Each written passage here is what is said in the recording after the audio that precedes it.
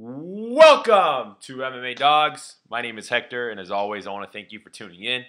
A special thank you to all of our clients. And uh, UFC 183. This is a card that I really, really have been looking for for looking forward to for a long time now. So I'm very excited that it's actually taking place. And uh, it's an interesting card. You know, it's almost like a Brazil versus the rest of the world, or Brazil versus the USA type of a type of a card.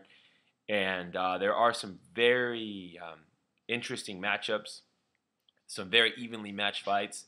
But I have found some opportunity, and uh, and I'm looking forward to to placing um, some uh, wagers. And uh, so yeah, let's let's dive right into it. Before I go into it, of course, you always want to uh, be very careful, and you never want to bet more than you can afford to lose. And then, uh, much respect to all the men and women who step into the octagon. And you also want to check your local laws and government.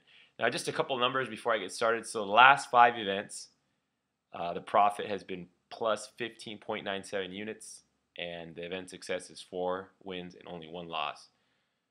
So, thank goodness for that. Um, for this card, I was very, very selective. I spent a ton of time um, researching for this fight and for this fight card and really breaking down these fighters and really trying to find the the best choices, making the best choices. And so uh, I have narrowed it down, really, really narrowed it down um, to what uh, to what I believe will happen tonight. So uh, with that being said, let's go ahead and jump into it. So for the first fight of the night, we have Thiago Santos versus Andy Enz. Now, at first glance, I was jumping up and down. Yeah, woo! Thiago Santos, great. Then I saw the price, and I was like, okay, this this is fair. You know, I was I was thinking, you know, this is about a, a fair price, and and um, t- today the line is settled at minus 170 for Thiago Santos. Um, with Thiago Santos, he has faced so he faced uh, Cesar Ferreira, who submitted him really quickly, and that's that's the fight that gives me a little bit of concern. I know the fight was on short notice, but Andy Enz will have the same game plan. He's going to go in there and try to take him down and try to um, try to submit him. Against Ronny Markes, uh, he knocked Ronny Markes out. And uh, I remember that was a do not bet on Ronny Markes. I said, don't bet on Ronny Markes in this in this particular spot and Santos knocked him out. You could chalk that up as a fluke, I suppose. You say, well, that was just a fluke. And uh, and then the fight with Uriah Hall, where he went to a decision, but Uriah Hall never pressured the takedown, never went for a takedown. So realistically, it if you want to be as if you want to analyze the situation as much as possible, this really could be the first time that Thiago Santos goes up against a guy like Andy Enz, who's going to want to take him put him up against the cage. He's going to want to take him down. Andy is going to want to John Fitch him, ride it out. You know, he's got Andy has got two losses in a row, and he's going to lose his job if he doesn't win this fight. So you got to believe that Andy Enz is is is going to go in there and just try to try to win, and he's going to try to smother him. It's going to be real frustrating, you know, being on Thiago Santos. But Andy Enz just doesn't have anything for him on the feet. His his striking is just very slow, very robotic. Uh, there's nothing fluid. There's nothing loose about him. You know, he's just just oh man, I, I really I'm really um, surprised that that uh, I'm very surprised that he's still. If I think about it, you know, will he still be in the UFC after this fight? I don't. I really don't think so. I really don't think so. The only way Andy wins is if he smothers him and John Fitches him to to to a to a victory. Now, Thiago Santos on the feet, very loose, very fluid, very powerful. I do believe, I do believe Thiago Santos' takedown defense will be enough. But I hate being on the on the fighter. I hate being on the end of a fighter who has to, who could possibly get smothered, who could possibly get, um, you know, taken down, smothered, and just just beat up, you know, just just laid on top of, and, and that's really frustrating. So uh, ultimately, if I had to bet this fight, it would definitely be Thiago Santos. I think on the feet, he can light him up. I think on the feet, he can knock him out. So that's actually going to be my prediction. Santos by knockout. But the reason I shared all that Andy Andy Enz information is because those are my concerns. That those are my concerns in this fight, and I'm really trying to eliminate any any loss, any loss at all. So I'm going to go ahead and say that uh, Santos does knock him out. If I had to bet it, it would definitely be Thiago Santos, and I will be betting Thiago Santos in a small parlay because I can't ignore that on the feet. I mean, he just light him up. Takedown defense should be good enough, especially at this point in their careers. Thiago Santos in the prime uh, of, of his uh, physical uh, prowess, you know, 31 years old, and uh, Andy Enz only being 23, 24 years old. So I do see Santos winning this fight by knockout, and uh, you know, it's not the, the, the five star pick, woo, but it is a it is going to be a bet, very small, but um, but this is the guy that I was talking about. I was just kind of going back and forth, and and uh, ultimately I'm going to go ahead and go with it. So Santos by knockout, and uh, that is the pick and the bet. Ildemar Alcantara versus Richardson Moreira.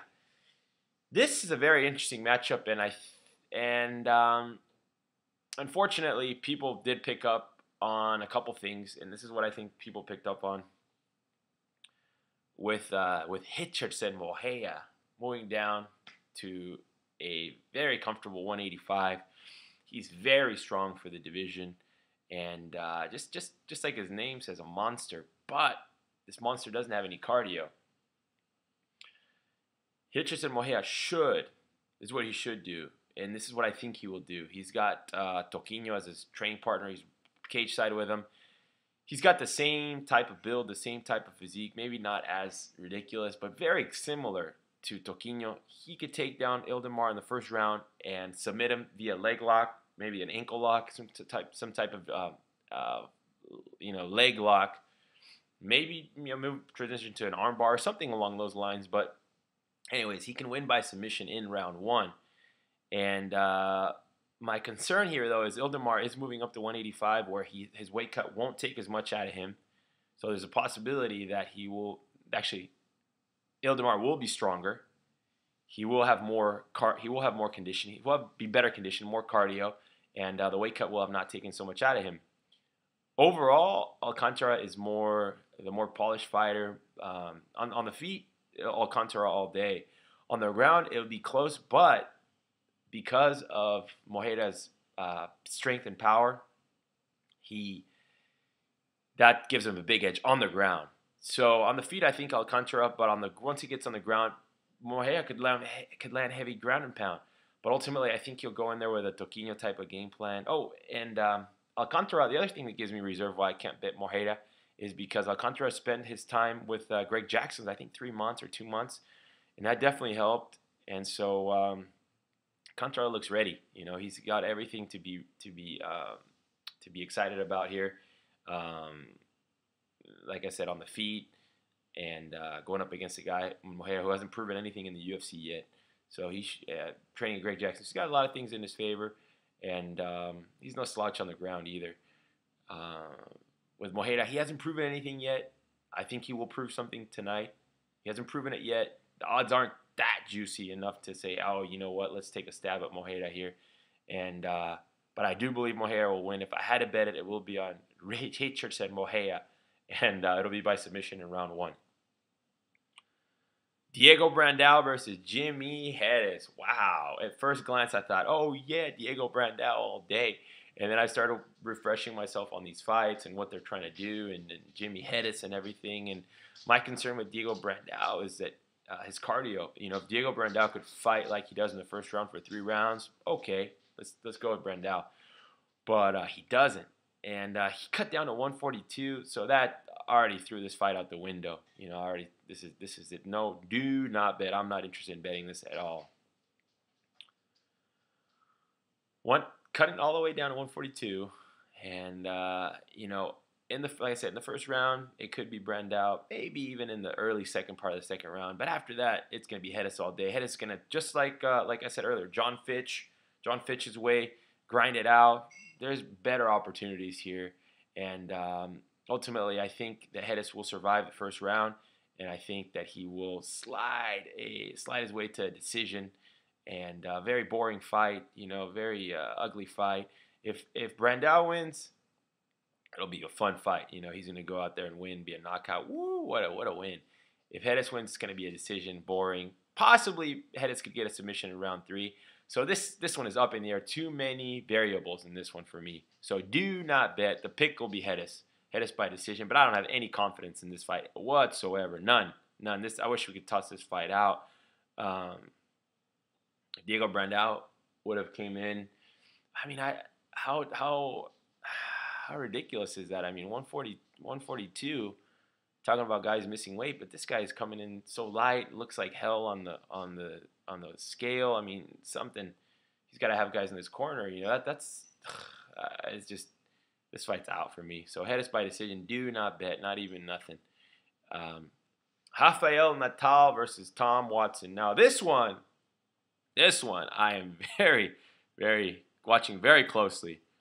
You can get Natal at minus 125, minus 130 range right now, and uh, I am I am I am very very tempted to because I think Natal has what it takes to win this fight. He can win this fight on the ground, um, on the feet. Ah man, he better be careful. But on the ground, he, he can definitely win it. He can ride out a decision.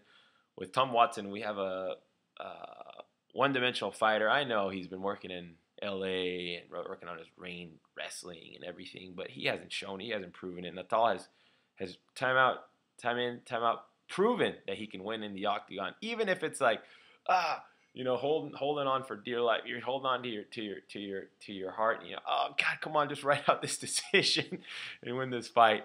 And uh, man, I, I, never thought Natal would be all the way down to minus 125, 130. So I'm very interested in this one. I'll, I'll be uh, I'll be watching that line closely.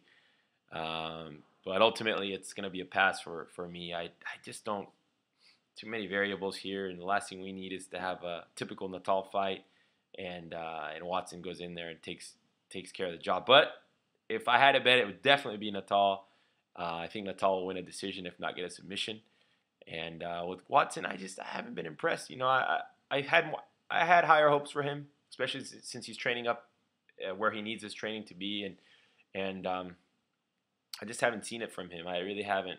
I mean, on the feet, like I said, he's dangerous and the clinch and stuff, but but I, I don't see it for him. So I like Sapo here to win a decision. If I had to bet, it would be Sapo, and I'll definitely be watching that line. John Lineker versus Ian McCall. Wow, another fighter who missed weight. Not really surprised with Lineker missing weight. Um, I see Ian right doing his uh, doing his using his his uh, his footwork and using his striking, possibly even using his wrestling to keep Lineker uh, to keep Lineker honest.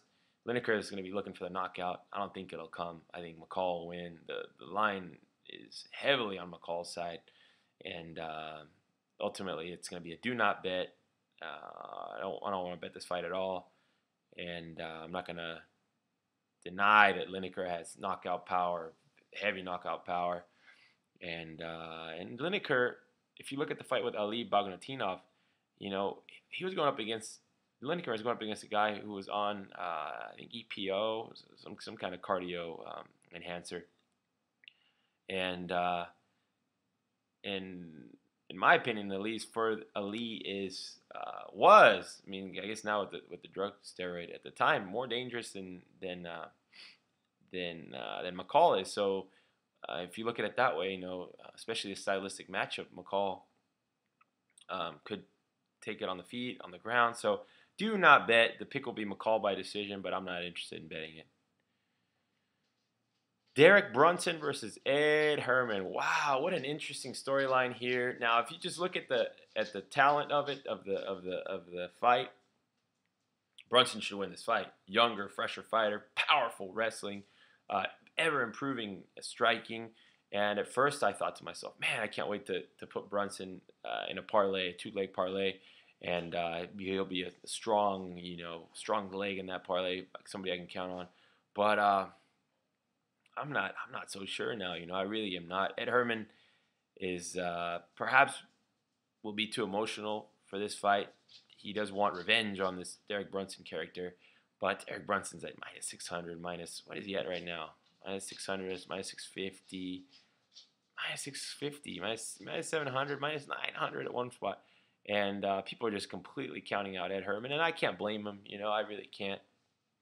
Um, Ed Herman will gas. Uh, you know, he he will probably be controlled by Derek Brunson on the ground, but but I'm not I'm not eager at all to lay that kind of pr- price on Brunson.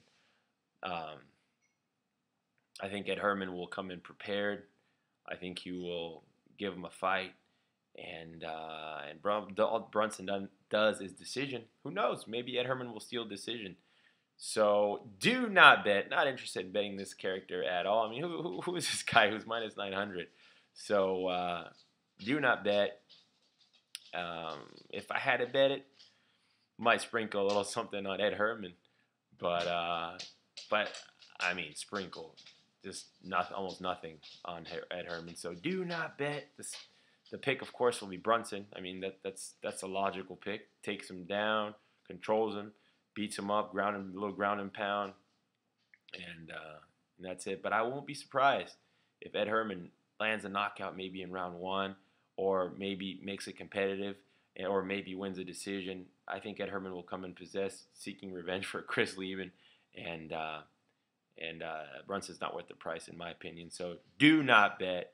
If anything, I'd sprinkle on Ed Herman, and uh, the the pick, of course, will be Brunson by decision. Miesha Tate versus Sara McMann. Oh wow, this fight I I really like for Sara McMann. Uh, Miesha Tate. I mean, it's just she hasn't. Man, she just throws fights away. The fight with Cat Zingano, she's just takes Ronda Rousey down when she's, uh, I don't know if I'd say beating her up, but definitely connecting on the feet. Just, I mean, this girl just does not have the, the, the right idea when she gets in the octagon. And at this point in her career, I, I don't I don't see it for her. And Sara McMann, she's just a, a beast, you know, just a just a a very very powerful lady. And uh, I see McMann winning a decision. Um, I, I think McMann can beat her wherever anywhere she wants. And uh, Tate is tough, but ultimately I think she's going to lose. So McMann by decision is the pick. McMann by decision will be the bet, and I really like this fight. Uh, for for uh, for Sarah, I really like this fight for Sarah. I don't care if the fight's entertaining at this point. You know, I just want Sarah to win. And I wouldn't be surprised if Sarah actually TKOs her, uh, makes her quit, but I doubt it. So McMann by by uh, by decision. Thiago Alves versus Jordan Mein. This is another fight that I'm watching very closely here. Um, uh, some variables here, and that's the reason I'm not gonna not gonna bet it. I was going to bet uh, Jordan Mein, and uh, we'll see how the night goes. But uh, Thiago Alves used to be a, a contender, and Jordan Mein is coming on the scene and looking more and more like a, uh, like he belongs at the at the 170 UFC, you know, maybe the top 10 of the UFC 170 welterweight division. Um, I think on the feet, Thiago Alves will use his kicks, and uh, I think the wrestling will neutralize each other out. And uh, we, I think we could see one of these split decision type of type of things. If not, Mein by knockout. That wouldn't surprise me at all. Thiago Alves just hasn't looked the same since he did when he fought, uh, even before he fought GSP at UFC 100. Um, so I think I think ultimately Alves is done. I think Jordan Mein will win. I think he could win by knockout possibly. Jordan Mein will be the pick. Jordan Mein possibly a bet. I'll be watching that one. And uh, but you know you can't deny Alves. He's been around forever. He trains with Robbie Lawler. He's uh, he's got Mike Dolce's his BFF, you know, and he, has got he's got the right people around him, and and uh, he's got a good team. So um, so that's a tough one. It's a tough one. I think Mein like I said, could younger, fresher fighter. He should be very motivated for this fight, and he should definitely be looking to make a statement here and put himself on the scene. So Mein by decision, possibly by knockout. If I had to bet it, definitely Mein and that'll be that. Thales Leites versus Tim Boetsch. Wow. Woo-wee. Thales Leites all day. He can win this fight by decision. He can win this fight by knockout. He can win this fight by submission. So uh, I like Leites here. I like the Nova União product here, and I think he's going to continue to rise here. Tim Boetsch, you know, he's he's over there in uh, in Maine training with uh, Marcus Davis. I don't know about that move. You know, he was training over here with uh, Matt Hume, they should have found some kind of compromise game plan versus just pure aggression. They should have found some kind of compromise. That concerns me. I think Tim Boetsch is towards the end of his career, and uh, I really like Leites here. Leites for the pick by decision, possibly possibly submission, possibly knockout. Um, definitely will be betting it, so we'll go into that in a little bit. Joe Lauzon versus Al Iaquinta. Now, if Iaquinta keeps it on the feet and plays it real conservative and real safe and, and, and to his to his realm of, of, of fighting, Iaquinta will win a decision, no doubt about it. Maybe even the third round knock him out. I doubt it.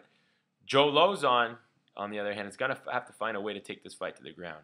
And I think he'll find a way. Um, he uses all kinds of tricks and things to get the fight to the ground, which is very entertaining to watch. Uh, do not bet. If I had to bet it, it would be Lauzon. Uh, looks like all the money's coming in on Iaquinta. And I can't blame people. You know, Iaquinta should should have learned his lesson about going to the ground. Kevin Lee, nearly, uh, you know, just just so many, just so many, so many guys he's fought who put him in all kinds of Mitch Clark. I mean, so many guys who he's fought put him in a world of trouble. And if Mitch Clark can submit Quinta, you better bet Joe Lauzon can. So I like I like Lauzon here submission round two. I'm not super confident about it. I'm gonna watch the line. If I had to bet, it would be Lauzon. Uh, nothing major, just a sprinkle, like I said earlier about uh, what was I talking about earlier? Uh, Ed Herman, maybe more, a little bit more than Ed Herman, but but um, anyways, Lauzon by submission round two. Do not bet. Here we go, co-main and main event. Tyron Woodley versus Kelvin Gastelum. It's a real shame that Gastelum missed weight because I was looking to bet Tyron Woodley at near even money, uh, even plus money, plus 105. And uh, so this this fight really made me think about when I release my picks and when I release my bets. I think what I'm going to do in the future is um, is release some of my research and some of my bets as I go, because I would have loved to.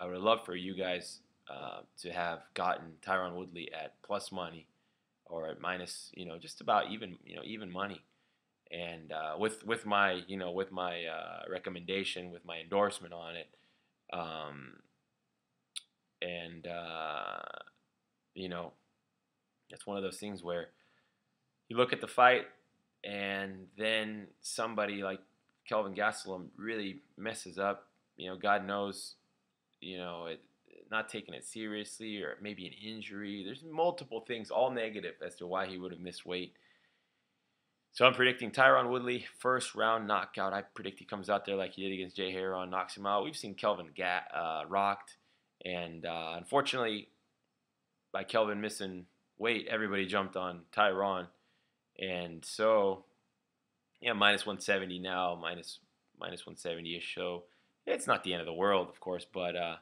but when we're looking to to get the best odds, you know, it's uh, it's one of those things that that that I've thought about and um, so in the future, uh, possibly, I'm not making any any guarantees or promises, but possibly I'm thinking start. I'm gonna start releasing the picks as they come, and then uh, if we have a if we have a you know a foo bar or something, you know, it, it, just it leaves a lot. It leaves a lot for a question if if we do it that if I do it that way. So uh, for now, we'll we'll keep it as is, but I'm definitely considering releasing some of the some of the picks because regardless of whether Kelvin Gastelum missed weight or not, regardless of it, my pick and bet Tyron Woodley. I, I have a good gauge on this guy, and uh, and I think he's going to get the first round knockout. So Tyron Woodley is the bet, even at minus 170. Doesn't matter. First round knockout. Tyron Woodley all day. And uh, oh, and just to touch on Gastelum, just so uh, just give him his respect here. Um, Kel, uh, what's his name? Jake Ellenberger. That fight doesn't impress me one bit. Uh, the Rick Story fight, you know, very close. Um, fight against Nico Musoke, I, I, believe he got rocked once or twice in that one. I'm trying to remember which fight he got rocked in. Just, uh, he, you know, he's a, he's a good prospect, a, a, good kid, but he's going up against a freight train here in Woodley. And uh, so, yeah, Woodley for the bet and the pick. Anderson, finally the return of Anderson Silva versus Nick Diaz. Now for this fight, I had to totally remove my my my uh, I had to totally remove myself as a fan from it. And so there is no bet on Anderson Silva. There is no bet on Nick Diaz. What I really like here is the under. I really like the under. Under three and a half rounds. That means that I believe the fight will be finished before the, uh, at least before the fourth round and a half mark. And I do think that'll be the case, whether Anderson goes down, getting knocked out, or Nick Diaz knocks him out. That that I believe is going to happen. I think the first round, Anderson will do his thing where he feels it out. He's always done that though. In the second round, that's when we'll see the kicks and the punches and everything start to land. My concern for Anderson here is that his chin is gone, just like Chuck Liddell. Remember when Chuck Liddell got knocked out by Rashad Evans, and then he started, and we were like, "What the hell?" And that was it. Rich Franklin even knocked him out. Would it really be surprising if Nick Diaz knocks out Anderson Silva? Maybe for some people, but not for me. So I think if it, it when it ends, it'll be round two, round three, round two. I think the fight will be over round two. I think ultimately the Spider will win Silva by knockout round two. But if Diaz knocks him out, it wouldn't surprise me. So I'm not betting. I'm not betting either side. I'm betting the under because I think that's what is going to happen, and I like the price on it. So Silva by knockout round two, but like I said, do not bet. I'm not betting any individual fighter. Just betting the under. That's what I like, and that's what I'm going to roll with. So for the bets, we got MMA DAWGS UFC 183, five stars, none, unfortunately. Tyron Woodley, a very close candidate for a five star. Tyron Woodley, medium to large bet, four stars. Let's go on to the three stars. We have, sure I'm looking at, there we go. Thales Leites, he'll be a medium play. Sara McMann will be a medium play. In the under will be a medium play. Under 3.5 rounds, Silva versus Diaz. So here we go. Here we go. MMA DAWGS bets. One unit equals 1% of the bankroll. Uh, keep the ratio the same. So um, Tyron Woodley, minus 170 five units to win 2.94. And like I said, this is this is nothing new. Whether Kelvin made weight, missed weight, doesn't matter. The bet would have been on Tyron Woodley, and uh, the pick would have been Tyron Woodley by first round knockout. It's just unfortunate for us that this happened because it doesn't change anything. If anything, it just changes the price. But you know, what you gotta sometimes you gotta roll with it. Tyron Woodley at minus 170 plus Thiago Santos at minus 170 equals plus 152 one unit to win 1.52. The under, 3.5 rounds. Silva and Diaz, minus 150, three units to win two. And Thales Leites at minus 400 and Sara McMann at minus 185. That gives us minus 108. Three units to win 2.78. Grand total, 12 units to win 9.24. So that does it for the day. I'm very excited for tonight. Uh, I uh, hope you guys are too. Uh, if you're tuning in, thank you very much. Um, for this year, my goal is to just win as many events as possible. Really, really filter through filter through these fighters, really filter through these fights, and pick nothing but winners to bring nothing but profit. Uh, not only to myself, but to all of our clients, to, to everybody who who uh, who's always um, supported us, and, and and even from the YouTube days when you know just started doing this, um, just just to share my picks and help people out. Um, you know, now we charge a small fee, but that's normal here. You know, it's the the uh, the American dream, or you know, any anywhere around the world. You know, if you if you're good at something and you want to make money at it, you know, you should go for it. And you don't have to be a greedy pig or anything like that. But you know, if you make a, make some money doing it, whether it's big money, small money, it doesn't matter. Uh, just follow what, what you what you're good at and what you what you like to do. So I hope everybody has a great weekend. I hope you guys all enjoy the fights, and I hope we are all hooting and hollering, jumping up and down. Yeah, plus 9.24 units. Yeah, in your face. Woo! All right, you guys, take care and uh, have a good one.